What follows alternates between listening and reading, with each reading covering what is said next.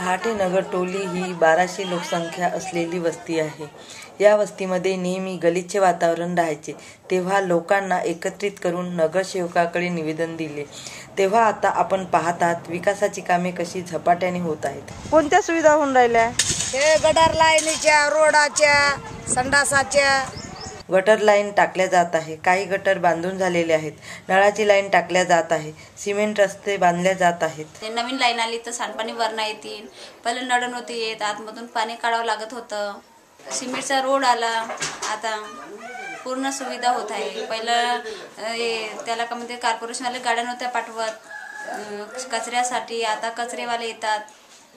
अलका माटे संध्या राजूरकर त्यांना मदतीस म्हणून छाया ढोके यांचा जो काही सहभाग त्यांचं काम करण्याची जी काही पद्धत आणि इथल्या गरीब लोकांना झोपडपट्टीच्या लोकांना त्या वारंवार भेटी देतात.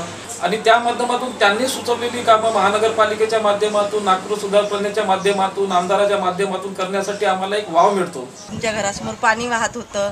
तर ह्या सुविधा आता येऊन राहिल्या. तर ह्या सुविधा आल्या तर कसं वाटून राहिलं? चांगलं वाटते आता आपल्याला.